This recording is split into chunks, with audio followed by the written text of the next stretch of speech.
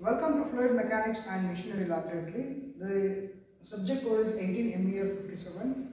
In this laboratory, we will be conducting experiments on flow measuring devices and, and power producing and power absorbing fluid machineries. So in today's class, uh, we are on experiment 5, it is impact of jet on vanes. In fluid mechanics, we have studied that uh, whenever a jet strikes any surface, there will be a force created and we need to find out uh, the amount of force exerted by that. So for that we have a theoretical formula. So what we have to do here is the aim is to find the coefficient of impact on vanes. So we need to, uh, we know the theoretical formula but there will be few losses when the fluid is flowing through the pipes and when it is coming out of the jet. So we need to consider those losses and that should be multiplied to the actual equation or the theoretical equation to find out the actual force exerted on the vane by the jet. So for that purpose, so now in today's class we are uh, with the help of the impact of jet of jet experimental setup, we are going to find out the coefficient of impact on the jet or with the help of that we will be able to find out the theoretical actual force exerted with the help of theoretical relationship. In this experiment, we can conduct the force exerted on a flat or an inclined or a curved vane.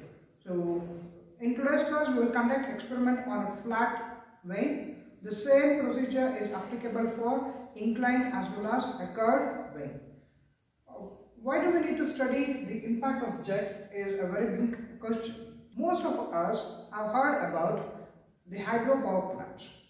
Okay. In the case of hydropower plants, we use water, the kinetic energy as well as the potential energy available in the water and convert that into mechanical energy. If I take a Pelton wheel, which is a pure impulse turbine, where only the kinetic energy of the fluid water will be converted into mechanical energy. So one, if you have seen the working of a Pelton turbine, you can see that the water jet impinges or strikes the blades of the Pelton wheel. Now, as a mechanical engineer, we should be able to find out what is the amount of force exerted by the jet on the wheel. Okay, it's not a simple case. The wheel is moving and the jet is also moving. So, uh, what we do is, first we start with a simple case, sorry, where we keep the vane stationary and we will study the amount of force exerted by the jet on the vane. And this force depends on many factors. It depends on the diameter of the jet, it depends on the velocity of the jet and it depends on the fluid used in the jet. Calculating the force is very important as this will help us in designing a proper turbine. So for that purpose, we need to study the impact of jet on vanes and in today's experiment we are going to find out the coefficient of impact on the jet. Now we will see the experimental setup and we will conduct experiment and then we will come back here to do the tabulation and calculation. Later we will see important Viva questions for this experiment. Now let us look at the experimental setup for impact of jet vanes. Here we have at the top we have the vane, here we have the load the jet. So the water will be supplied to the jet with the help of a centrifugal pump which is present below, below this and the water will be connected in a tank below this.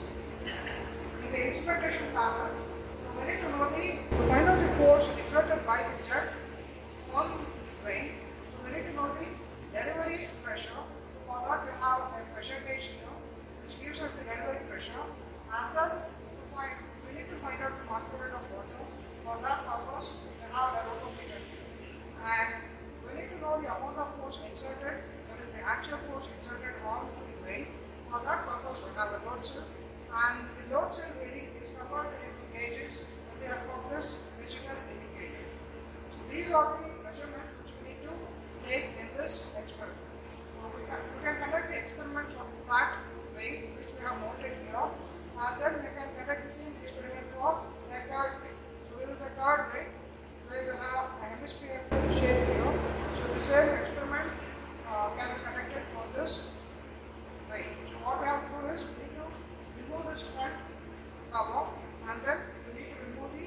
flat thing and then we need to replace it with that like this curved way. So in this uh, setup we can conduct either a flat way or a curved Now let us conduct the experiment. So what we have to do is first we need to make sure that there is adequate water in the tank and then we need to switch on the centrifugal pump with the help of this green button. And we need to make sure that we have kept this open. Now I will store it as 25 liters per minute. For 25 liters per minute, uh, the force exerted by the jet on the vane, which is measured with the help of the load cell, is around 0.336 336 kgs and the minimum pressure is around 0.4 kg per centimeter square. Now let us increase it to 30 liters per minute.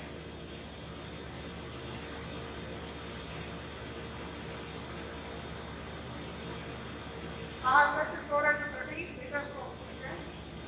30 liters. So this, force exerted by the jet is around 0.49 kgs and the pressure, pressure is around 0.7 kg per centimeter square. So this, this completes the conduction of the experiment. Now let us go to the tabulation and calibration. We have conducted the experiment. So the observations are, we have used a flat vane and the diameter of the nozzle is 10 millimeter. In our experimental setup, we can alter the type of vane. So depending on the type of vane, uh, equation for the theoretical force will also change. And then uh, we need to find out the area of the jet. So area of the jet is the cross-sectional area of the nozzle. So that is 7.85 into 10 to the power of minus 4 meters square. And now uh, we have taken two readings. Uh, for the first trial, we kept the flow rate or discharge as 25 liters per minute and the second one as 30 liters per minute. For 25 liters, uh, we had a force of 0.335. This is the actual force which we measured with the help of load cell and the load cell values were displayed in terms of kilograms. So that is being converted into Newton here by multiplying 9.81 and then the pressure was 0.4 kg per centimeter square. To convert the pressure, we have this equation. So the pressure from kg per second centimeter square to meters of water, H will be equal to 9.81 into, this is rho g H will be equal to P. So with that, H will be equal to 9.81 into P into 10 to the power of minus 4. This 10 to the power of minus 4 is to convert centimeter square in the denominator to meter square.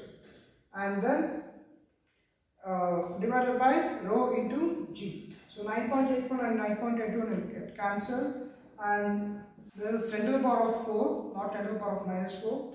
Then rho is 1000 per water, so 1000 and 10 to the power of 4 will cancel each other and we will be left with P into 10. So the pressure in kg per centimeter square is 4, 0.4 and the head in terms of meters of water is 4 multiplied by 10. Then uh, we need to find out the velocity. So to find out the velocity, we have the equation velocity of the jet is equal to CV into root of 2gh, where h is the head which you have calculated in previous step and CV can be taken as 0.98. Okay. With this, we will be able to find out the velocity and for the first trial it was 8.68 uh, meter per second. And with the help of uh, the velocity, you can find out the theoretical force.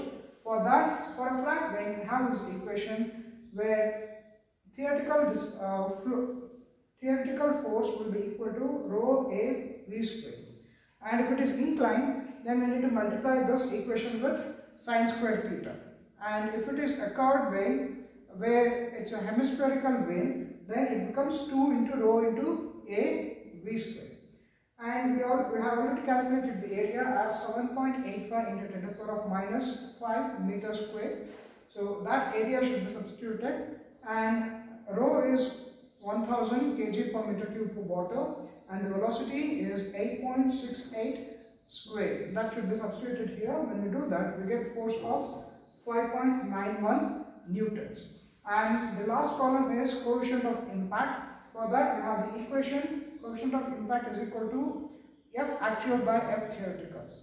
Or in other words I can say that actual force will be equal to theoretical force into coefficient of impact.